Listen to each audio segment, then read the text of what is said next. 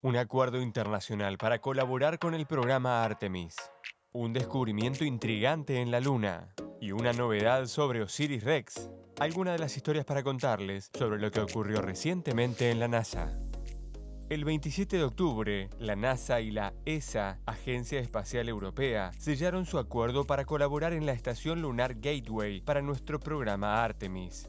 Según el acuerdo, la ESA contribuirá con módulos habitables y de reabastecimiento de combustible, comunicaciones lunares y otras tecnologías clave. Esto es parte de nuestro esfuerzo por colaborar con socios internacionales para una exploración lunar sostenible y para desarrollar la tecnología necesaria para enviar humanos a Marte. El Observatorio Volador Sofía ha confirmado por primera vez la presencia de moléculas de agua en la superficie de la Luna iluminada por el Sol. Esto indica que el agua puede estar distribuida por toda la superficie lunar, no solo en las regiones frías y sombreadas de la Luna. La NASA quiere aprender tanto como sea posible sobre la presencia de agua en la Luna antes de enviar a la primera mujer y al próximo hombre a la superficie lunar en 2024. La nave espacial Osiris-Rex de la NASA recolectó tanto material de muestra del asteroide Bennu el 20 de octubre que la unidad de recolección se llenó y no pudo contener todo el material. Los gerentes de la misión tomaron la decisión de almacenar la muestra días antes de lo planeado para minimizar la pérdida de material. El proceso de almacenamiento sella de forma segura el material en una cápsula que lo transportará de regreso a la Tierra para su estudio. La NASA y SpaceX ahora apuntan al sábado 14 de noviembre a las 7.49 pm hora del este para el lanzamiento de Crew 1, la primera misión de rotación de tripulación a la Estación Espacial Internacional como parte de nuestro programa de tripulación comercial. Crew 1 aumentará el tamaño de la tripulación habitual de la estación de 6 a 7 astronautas, lo que hará que la tripulación tenga más tiempo para hacer investigaciones. Las cámaras fuera de la Estación Espacial Internacional capturaron imágenes del huracán Z en la tarde del 28 de octubre en el Golfo de México. Z tocó tierra el mismo día, pero más tarde cerca de Nueva Orleans como una tormenta de categoría 2. Nuestra instalación de ensamblaje de Millud y el Centro Espacial Stennis se vieron afectados por la tormenta y ambos están evaluando el impacto en su estado operativo. El 2 de noviembre se cumplieron 20 años de presencia humana continua a bordo de la Estación Espacial Internacional, viviendo y trabajando continuamente. Los miembros de la primera tripulación residente de la estación, incluido el ex astronauta de la NASA Bill Shepard, compartieron algunas reflexiones sobre la importancia del puesto de avanzada orbital durante una mesa redonda el 29 de octubre.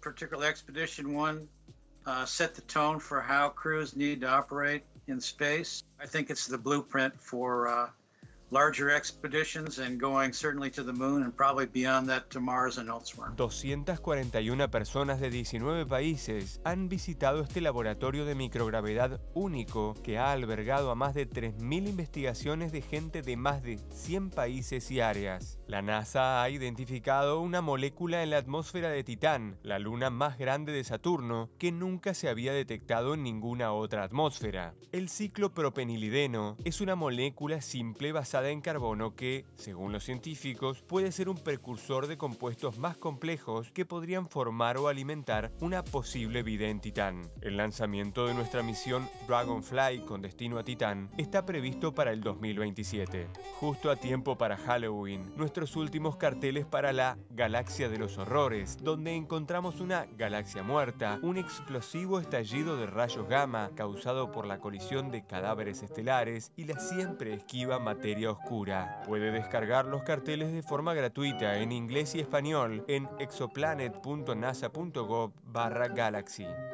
Esto es lo que ocurrió recientemente en la NASA. Para obtener más información sobre estas y otras historias, síganos en la web en ciencia.nasa.gov.